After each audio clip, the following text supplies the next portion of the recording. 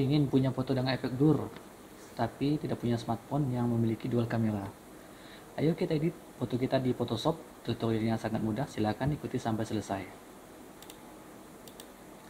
Oke yang pertama-tama kita buka foto yang akan kita edit. Saya menggunakan Photoshop CS6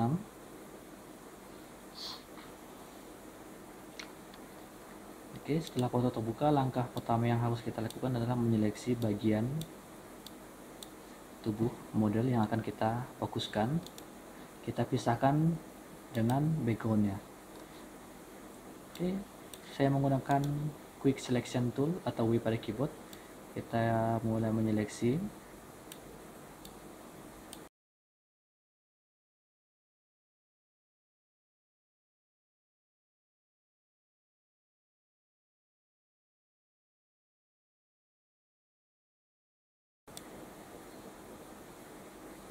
Setelah foto terseleksi, langkah selanjutnya kita klik menu Refine X.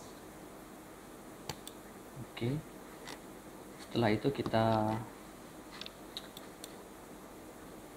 pindahkan ke bagian rambut, kita haluskan seleksi pada bagian rambut.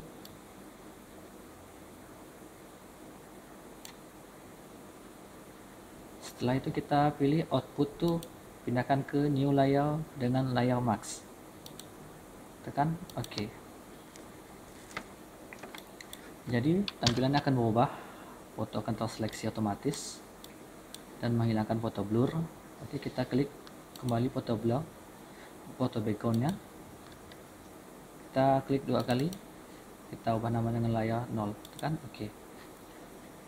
setelah itu kita menghilangkan foto model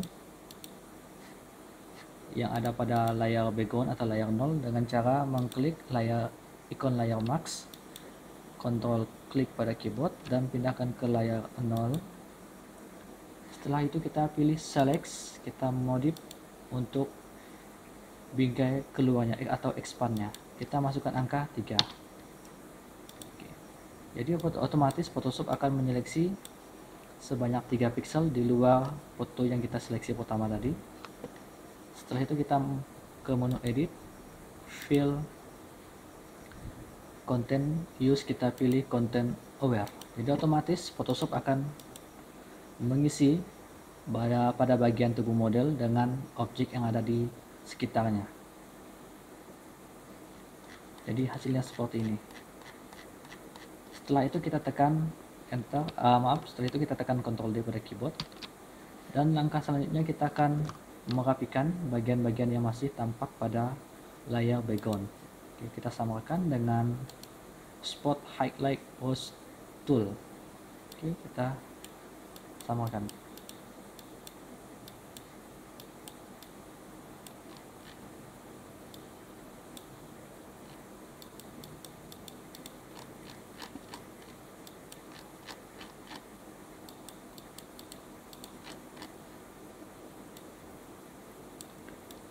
Inilah gambar seperti ini.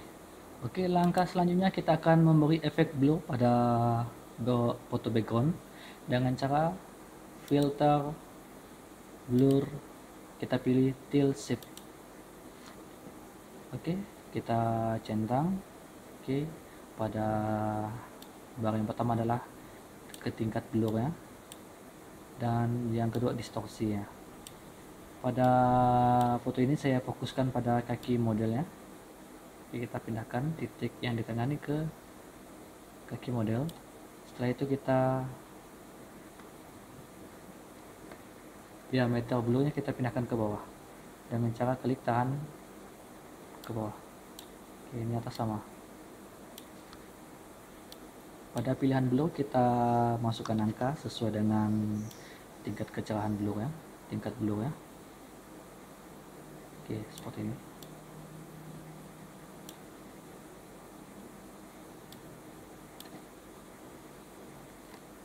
setelah itu tekan OK.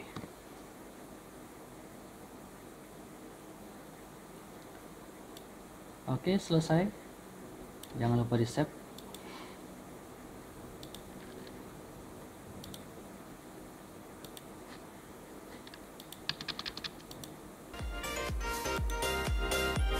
Oke demikianlah tutorial saya pada kali ini. Jangan lupa like dan subscribe bagi uh, anda yang baru pertama kali berkunjung ke channel saya dan jangan lupa nyalakan lonceng notifikasi agar anda tidak tertinggal untuk video-video saya yang selanjutnya. Terima kasih